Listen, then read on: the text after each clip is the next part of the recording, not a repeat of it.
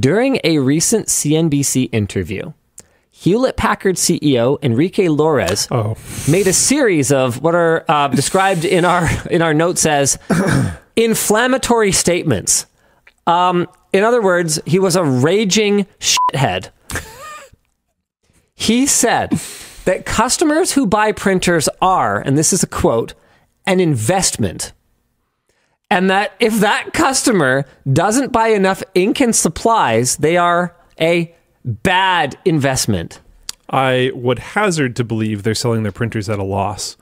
If they were, I would maybe understand this statement.